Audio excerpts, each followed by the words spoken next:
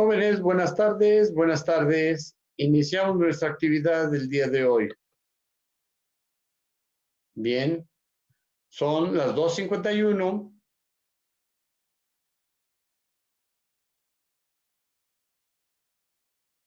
Dos cincuenta y uno. Iniciamos modelos matemáticos con el grupo de sexto semestre. Perfecto. Para el momento tenemos ya nuestro primer invitado, primer Jesús XR. Bien. Buenas tardes, Jesús. Buenas tardes, profe. Perfecto. Son 2.52. Estamos iniciando. Eres el primero. Una felicitación para ti. Gracias. Muy bien. ¿Cómo vas en tus trabajos? Pues al parecer ya estoy completo. Soy ya. Pues, ya estás completo. Sale, ya completaste cada uno de los requerimientos. ¿Ha sido pesado para ti? Este, no, no tanto. Bueno, sale. Esperamos un momentito todavía o ya iniciamos nuestra actividad. Esperamos un momento. ¿Un momentito? Sí. Bien, a ver, cada día se están integrando menos alumnos, poquitos. ¿De qué grupo eres? Dime. Del tercero A. Tercero A. ¿La fecha de hoy cuál es? 29 de, de abril del 2020. 29 de abril. La hora 2.53 de la tarde. 29 de abril del 2020. Año del COVID-19. ¿Sale? Bueno, entonces, estamos hoy reunidos y cada vez tenemos que avanzar, avanzar a, pesar de que afuera, en nuestro entorno, están sucediendo fenómenos de salud muy incómodos. Bien, la clase de hoy tiene un objetivo muy importante. El objetivo es entender el concepto de energía. ¿Sale? Energía. Como una fuerza capaz de que un sistema o fenómeno se lleve a cabo y que se lleve a cabo o ese fenómeno que genere un trabajo determinado. Por ejemplo, cuando vamos en una dirección en el autobús, en la carretera, y vemos en los cerros unos dispositivos que se están moviendo. Son muy altos, 50 metros más o menos, y tienen unas aspas. Y entonces el viento está moviendo esas aspas. Pero esas aspas mueven unos mecanismos a través de engranes y esos mecanismos hacen que gire una especie como de motor y al girar ese motor lo que resulta es generar energía eléctrica a través de un mecanismo llamado ¿qué? Ahorita se me fue el avión, se me fue. Eólica, energía eólica, es decir, a través del viento o del aire que está moviendo esas aspas, está generando un movimiento rotatorio y ese movimiento rotatorio se aplica o, se aprovecha para mover otros dispositivos y esos dispositivos sean capaces de mover otro, una especie como de motor eléctrico y generar energía eléctrica. ¿Sale? Entonces, la energía eólica capaz de generar energía eléctrica. Bien, eso es más o menos un invento de siglo XX. No estoy seguro si de principio del siglo XX o todavía un poco más hacia el siglo XXI. Sale pues. Entonces dijimos que el concepto de energía es un concepto muy importante para estudiar los fenómenos de la naturaleza. Por ejemplo, ¿qué fenómenos hay en la naturaleza? El rayo, cuando va a llover o cuando hay una tempestad, sale, cuando hay un temblor de cierta magnitud, y ese temblor es capaz de derrumbar edificios. Entonces, los edificios se caen, pues, porque la estructura del, mismo edificio no está bien calculada, no está bien realizado el trabajo, y entonces los castillos, columnas y demás están deficientes en materiales, ya sea en varilla, ya sea en cemento, y no están calculados para soportar un temblor de la magnitud que los está derrumbando en ese momento del temblor o del terremoto. Sale. Bien. Por otro lado, ¿qué esfuerzo necesitamos para trasladar una masa de un lugar a otro? Si la masa o el peso de ese objeto pues es ligero, pues a veces vamos cargándolo, no tenemos ningún esfuerzo. Podemos cargar dos kilos de maíz, dos kilos de, de tortillas, dos kilos de cualquier cosa. Podemos cargarlas porque nuestros brazos relativamente tienen esa posibilidad de cargar ese peso, pero nos ponen a cargar a lo largo de dos calles, por ejemplo, una lavadora que podría pesar hasta 50 kilos, ahí sí nos los vamos a ver un poco difíciles. Entonces, el trabajo que se requiere hacer o que se va a realizar por trasladar dos kilos de tortillas a lo largo de dos calles es diferente que si cargáramos 50 kilos a lo largo de dos calles. Bien. César Castillo se está integrando en este momento le damos la bienvenida. Samuel Telles también se está integrando.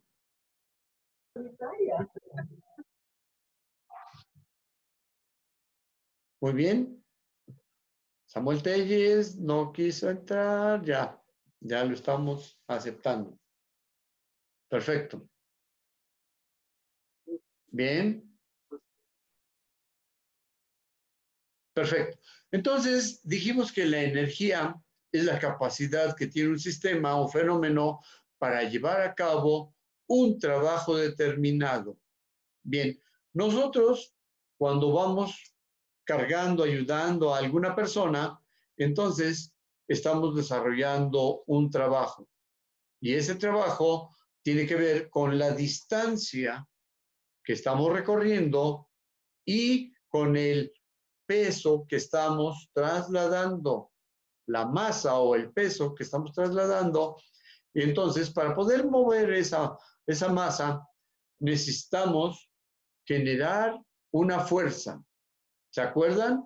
Y entonces la fuerza, según la ley de Newton, tiene que ver con esta ecuación. Fuerza igual a la masa por la aceleración. Una masa de 2 kilogramos ya está bien definida, pero ¿cuál es la aceleración de la que hablamos? ¿Cuál es la aceleración que estamos considerando para determinar que un objeto es más pesado o menos pesado? ¿Quién me ayuda? César Castillo. ¿Me ayudas a determinar el elemento de la ecuación que vamos a, señalar como aceleración. Masa por la aceleración igual a la fuerza. Y este sale de la segunda ley de Newton. Aceleración igual a fuerza sobre masa. Pero entonces, si transformamos o cambiamos los elementos, solo queremos hablar de la fuerza como una expresión de relación directa entre la masa y la aceleración. Y entonces, la pregunta es, ¿de qué aceleración estaríamos hablando? ¿Alguien me ayuda? Samuel Davis. ¿Por qué se caen las cosas? Por la, Por la gravedad. Por la gravedad. Y entonces, esa fuerza que está pendiente siempre, que está presente, hace que las cosas se caigan. ¿Sale? Bien, y entonces como la Tierra está jalando este objeto hacia el centro, hacia el centro de la Tierra, entonces, entre más masa, decimos que hay más peso, pero la fuerza de gravedad, la que va en dirección hacia abajo, y esa fuerza de dirección hacia abajo se dice que es positiva, entonces es lo que determina el peso, la aceleración. La aceleración de la gravedad multiplicada por la masa está generando una fuerza de atracción. Y esa fuerza de atracción también se interpreta como el peso de un objeto. Bien, y entonces, ¿alguien me ayuda para definir o recordar cuál es la aceleración de la gravedad? Aceleración de la gravedad, ¿quién me dice? 9.8 metros sobre segundo al cuadrado. ¿9 punto qué? 9.8 metros sobre segundo al cuadrado. Muy bien. Yo hace un rato en otra clase dije 9.5, pero nadie me corrigió. Y entonces, me hubiera corregido alguien, acuérdense, le doy su firma por haberme corregido, porque yo dije 9.5. Y resulta que efectivamente 9.8 metros sobre segundo al cuadrado. Cuando hablamos del tiempo al cuadrado, estamos hablando de la aceleración, porque cada momento va cambiando la velocidad. Y entonces, de eso dijimos que iba a haber una tarea, ¿se acuerdan? ¿A qué velocidad cae un paracaidista? Justo cuando llega la velocidad de su caída. Es decir, más tarde, después de cierto tiempo, el paracaidista ya no va a poder cambiar de aceleración, porque la aceleración es una constante, la aceleración de la gravedad es una constante. Bien, y entonces completamos la ecuación. La fuerza es igual a masa por aceleración. Supongamos que tenemos dos kilogramos. Supongamos que tenemos dos kilogramos. Y entonces, multiplicado por la aceleración, 2 por 9.8, ¿cuánto será? 9.8 por 2, 9 por 2, 18. Entonces, este será igual a 19.6 kilogramos metros sobre segundo al cuadrado. ¿Sale? Bien. 9.8 por 9 por 2. No, estoy mal, estoy mal. Es 17. 17.6. ¿Sale? 17.6 kilogramos metros sobre segundo al cuadrado. Esas son las unidades de la fuerza. Profe, estaba bien, era tanto- 19.6. ¿Perdón? Sí, estaba bien, era 19.6. ¿Sí estaba bien? ¿19? ¿9 por 2? Sí. Ah, sí, 9 por 2, 18. Sí, estaba bien, perdón, perdón, perdón. Bien, entonces yo me equivoqué. 19.6. 19.6 kilogramos metros por segundo. ¿Sale? Pero esas son las unidades de los newtons. Entonces, la fuerza se mide en newtons. ¿Sale? La fuerza se mide en newtons. Bien. ¿Hasta acá habrá alguna pregunta, jóvenes? ¿Habrá pregunta al respecto? No, pues está más o menos claro, ¿no? Nada más, salvo algunas situaciones del cálculo rápido, estamos en vivo y en directo en este momento. Y bueno, los algunos, algunos errores sí son permitidos. Bien, ahora, dijimos que la energía capaz de generar un trabajo, de hacer que un fenómeno se lleve a cabo, es, es esto, la energía, entender el concepto de energía y es la capacidad de que un sistema o fenómeno pueda llevar a cabo un trabajo determinado. Ya hicimos más o menos el ejemplo de la energía eléctrica que se genera a través de una energía del viento y además otro movimiento de ciertos mecanismos. ¿De acuerdo? Bien, me equivoco un poquito porque estoy un poco disperso. Bien, entonces, un ejemplo específico. Escriban, por favor, escriban. Si el trabajo es el resultado de la fuerza por una distancia específica, si el trabajo es el resultado de una fuerza por una distancia específica, ¿cuál será el trabajo que un señor realizará? ¿Cuál, señor, ¿Cuál será el trabajo que un señor realizará si en su trayecto de trabajo, en su trayecto de trabajo, es un albañil que está rascando una zanja para poner ahí un cimiento de una casa, pero resulta que se encuentra con una piedra y esa piedra está obstruyendo el trazo de su de su cimiento, del cimiento que él debe construir. Y entonces requiere quitar la piedra. Pero es una piedra que pesa 60 kilogramos. Es una piedra que pesa 60 kilogramos. Y, resulta que él está solo. Él está solo y entonces no la puede mover, no la puede quitar y pues no hay quien le ayude alrededor. ¿Sale?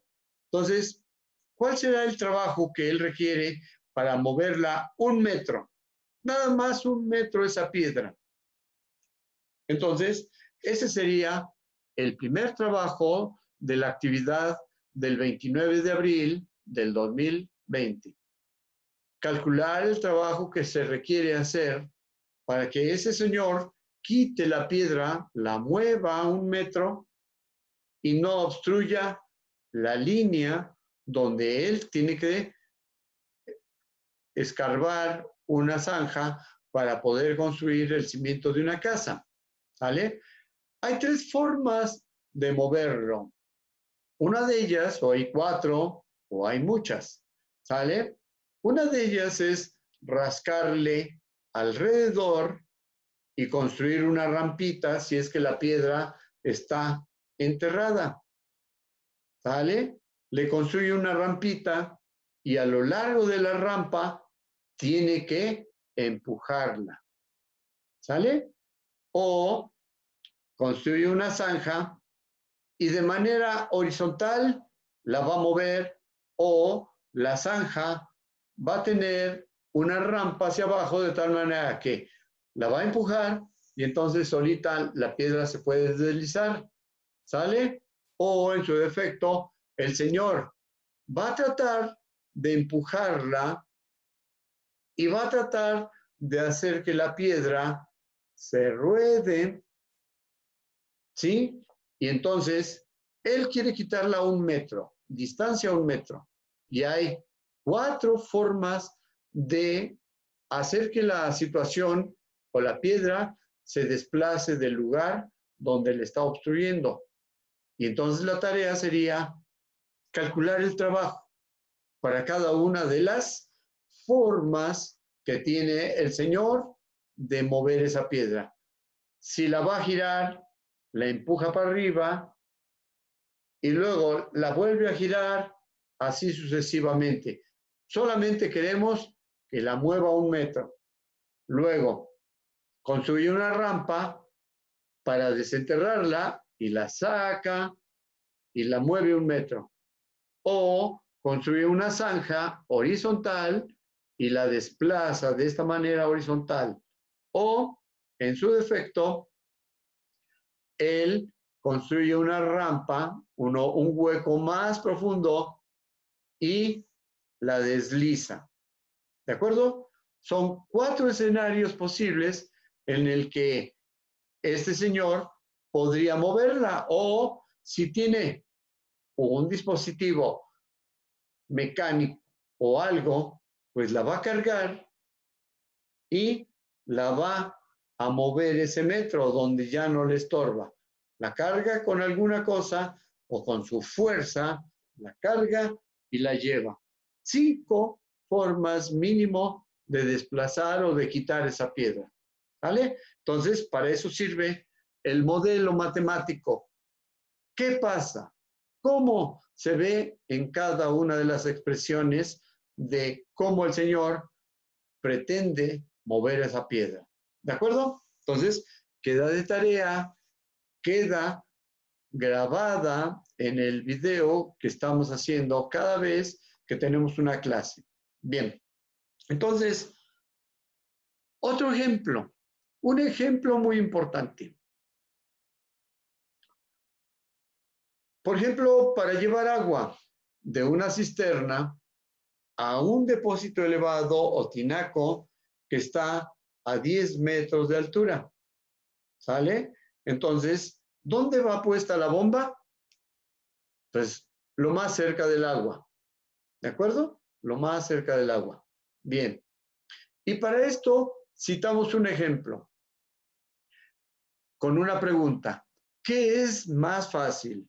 ¿Jalar o empujar un objeto? ¿Qué es más fácil? ¿Jalar o empujar un objeto? Jesús. Empujar un objeto. César Castillo. ¿Qué es más Empujar fácil? un objeto. ¿Jalar o empujar un objeto? Empujar un objeto. ¿Fuerte? Empujar un objeto. ¿Empujar? ¿Es más fácil? Sí. Órale. ¿Quién dice algo diferente? ¿Alguien está no de acuerdo? ¿Jalar o empujar? Ah, yo pienso que en realidad es igual. ¿Fuerte? Yo pienso que en realidad es igual. Alguien dice que en realidad es igual. Samuel Telles es quien dice que es igual. ¿O Jesús? ¿Quién dijo? Jesús, Mm. Pienso que también podría ser lo mismo. Fuerte, fuerte. Pienso que podría ser igual lo mismo. Bien. Vamos a ver con el ejemplo de la bomba. ¿De acuerdo? ¿Jalar o empujar? Esa es la pregunta. Una bomba de agua se pone muy cerca de donde está el agua. ¿Sale? Se pone muy cerca de donde está el agua. Supongamos a dos metros de altura. Entonces, el agua va a tener esta posición y el tubo llega a dos metros de profundidad, ya sea un pozo o sea una cisterna. ¿De acuerdo? Y entonces, lo que hace la persona que va a hacer que jale el agua o que la impulse, primero llena todo esto de agua, lo llena y ya después de que lo llena, tapa aquí arriba, pone su tapón y entonces ya está lleno todo esto. Y acciona el mecanismo de la bomba. Cuando se acciona, ese mecanismo empieza a girar en una dirección y esa acción hace que el agua sea movida hacia arriba, ¿no? Más o menos como mi mano que está girando y está chocando contra el agua, entonces la mueve en una dirección. Y entonces se dice que está empujando, empujando esa agua y tiene la, la oportunidad de subirla a 10 metros. Una bomba de tres cuartos o de, una, de un caballo fácilmente va a subir el agua a una altura de 10 metros y un poco más. ¿Sale? Y entonces está girando el dispositivo, el aspa, y está mandando en una dirección, empujándola, se puede decir, una tras otra, una tras otra, y empuja el agua. Pero si esa misma bomba la ponemos más o menos cerca del depósito, a 9 metros de altura, ¿qué le va a pasar a la bomba? ¿Alguien me dice?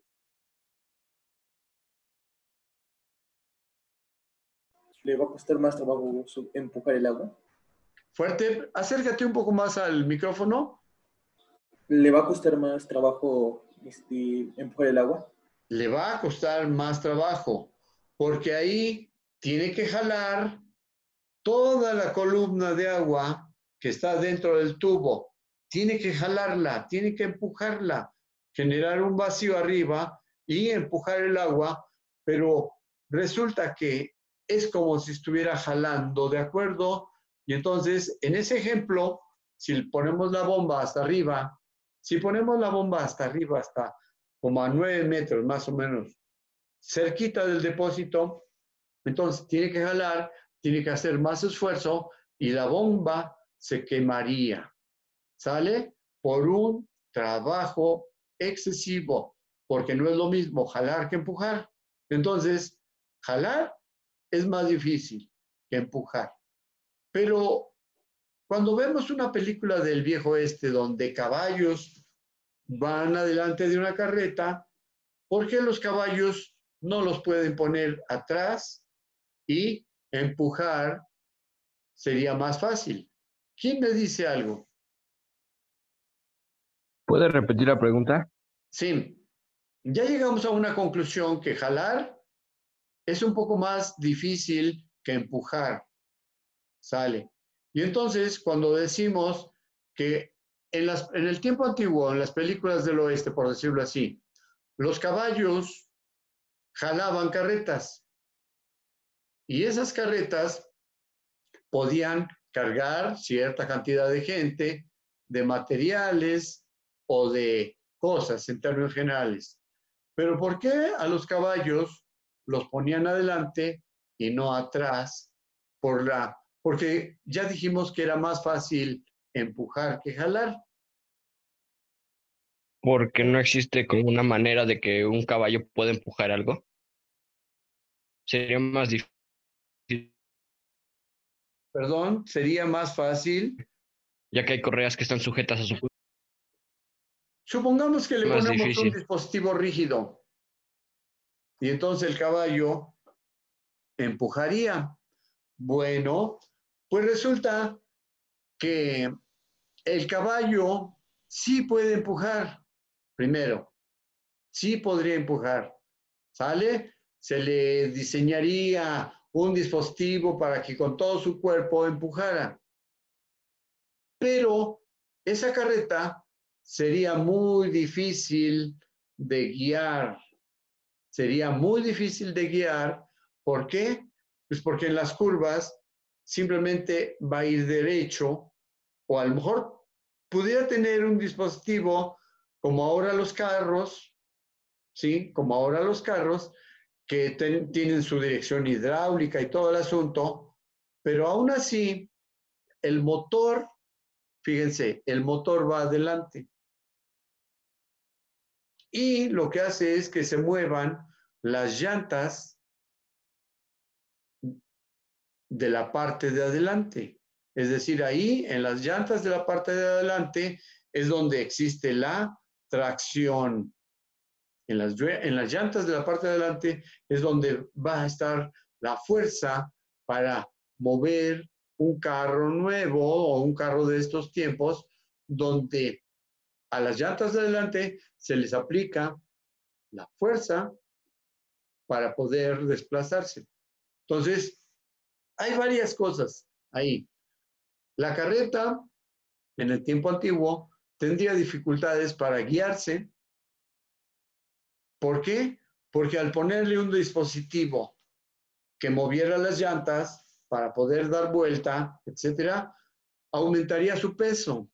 Y en ese sentido, pues una carreta que pesa cierta cantidad y que además puede llevar cierta carga y que además es de pasajeros y demás, le pon, en el tiempo antiguo vieron que con seis o cuatro caballos era suficiente para mover esa carreta.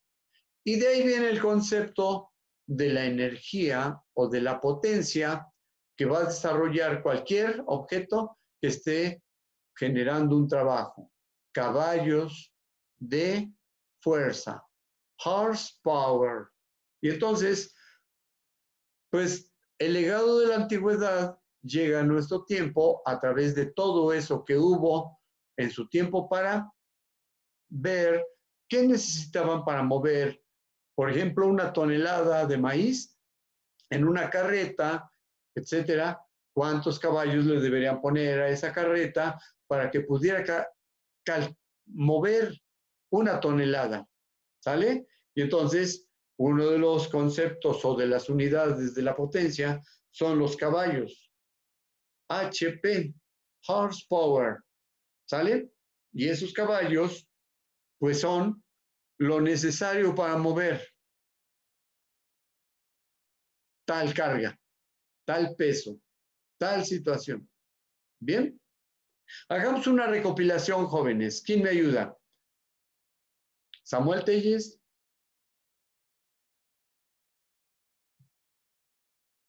¿Quién me ayuda a hacer la recopilación? No se vayan, quédense. La recopilación es esta.